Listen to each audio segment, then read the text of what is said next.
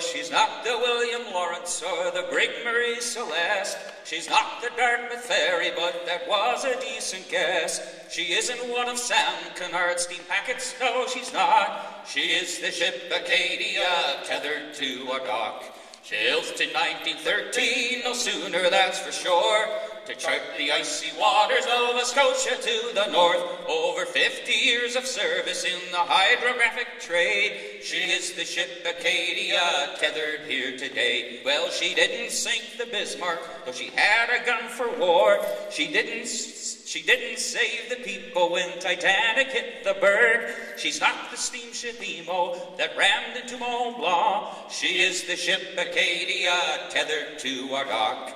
Built in 1913, no sooner, that's for sure, to chart our icy waters, Nova Scotia to the north. Over 50 years of service in the hydrographic trade, she is the ship Acadia, tethered here today. She is the ship Acadia, tethered here today. Well, she surely not the bounty, no mutiny she faced.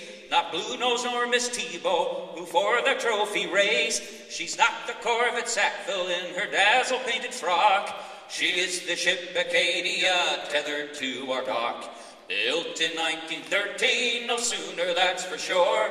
To chart our icy waters, Nova Scotia to the north. Over 50 years of service in the hydrographic trade. She is the ship Acadia, tethered here today. She is the ship Acadia, tethered here today. Well, there's many that she isn't, and questions still will come until you gang aboard her and discover what she's done. She's a treasure, she's a tribute to the hydrographic trade. She is the ship Acadia, tethered here today. Built in 1913, no sooner, that's for sure, to chart our icy waters, Nova Scotia to the north. Over 50 years of service in the hydrographic trade. She is the ship Acadia, tethered here. One more course, built in 1913, no sooner, that's for sure, to chart our icy waters, Nova Scotia to the north. Over 50 years of service in the hydrographic trade. She is the ship Acadia, tethered here today.